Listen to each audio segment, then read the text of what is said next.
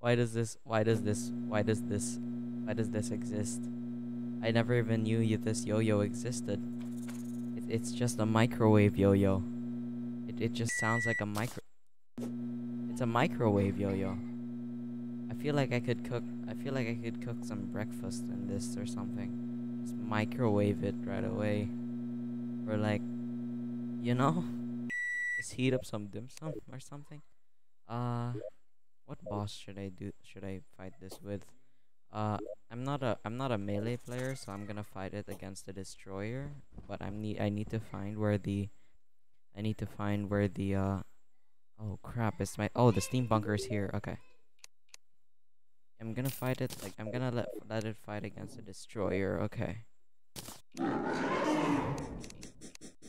Alright, I gotta wait a bit because because of this stupid uh Alright.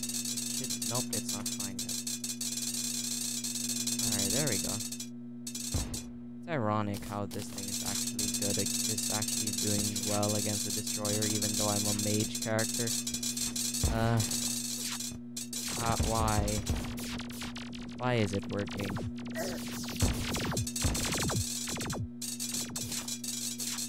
Why is it working? Die. Why the heck does this work? This guy has the highest health in all of in all of vanilla, and he's, and then he's just getting destroyed by a microwave. oh god! And I'm a mage character, so this won't even do. This doesn't even do do that much damage unless I unless I swap to like a different like a different set. Bruh. An unironically good yo-yo. What the heck? I don't even care about dodging. I just want I just want to destroy this guy with a microwave.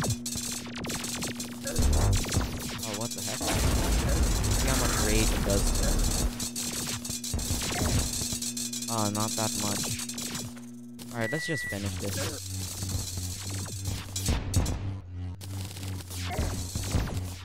Okay. Cool.